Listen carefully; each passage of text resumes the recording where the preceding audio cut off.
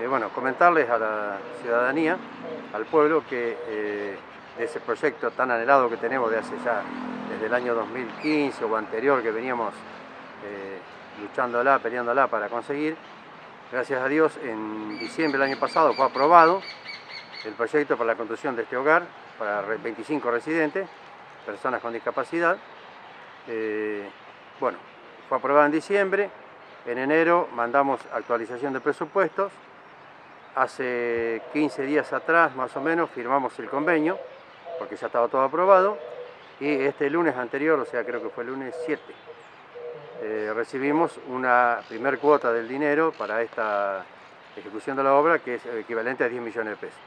Nos restarían, después, o sea, a medida que va a avanzar la obra, o sea, estamos en tratativa para con quién la vamos a hacer construir, a medida que va avanzando nos girarían la segunda cuota que serían unos 16 millones y medio creo Eh, lo sabemos ya por la ley de la vida que normalmente siempre los padres se van primero y el chico va quedando, a veces tiene hermanos, a veces no, y cuando a veces tiene hermanos tienen su vida hecha, sus, sus cosas que atender y a veces le complica. Entonces eh, siempre se pensó, como tenemos ahí, eh, incluso hay, en este momento hay tres personas, operarios que están, siendo, que están en el geriátrico del hospital, o sea que ellos son los que más me insisten, y Carlito, ¿cuándo se termina esto? ¿Cuándo se hace esto? APRI prácticamente es una familia, ellos son una familia que con este tema de la pandemia, que hace un año y medio que no están yendo, este, gracias a Dios con los grupos se mantiene contacto, pero no es lo mismo que el contacto estar allá, la sociabilización que tienen dentro de la, de la institución. Está todo preparado para, o sea, de acuerdo a la reglamentación que existe para discapacidad, puerta más ancha, para que pasen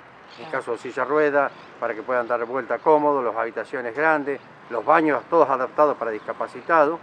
O sea que es todo preparado para discapacitados. En el mismo terreno que tenemos nosotros, o sea, de la, quinta que está la granja, está separado, o sea, de la parte del taller, está a unos 50 metros, en el cual ya creo que en algunos tomas que han hecho está la parte, diríamos, levantada las paredes y el techo.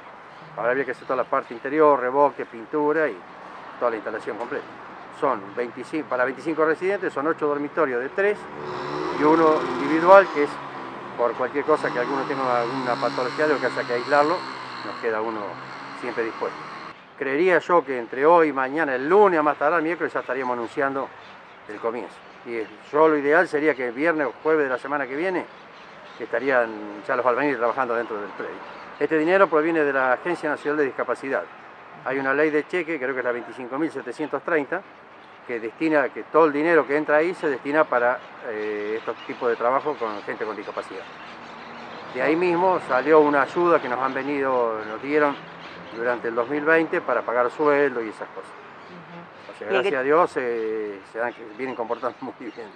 Ya en el 2001 hubo una parte que se hizo que estaban los cimientos y una partecita de las paredes levantadas, después se quedó inconcluso.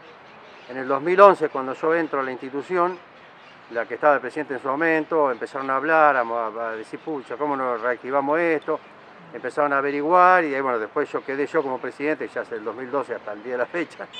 Y bueno, eh, entre todos, o sea, es una idea que viene de todo, toda la comisión viene bregando, dice, yo soy la cara visible, pero el que, toda la comisión es la que está detrás de todo esto.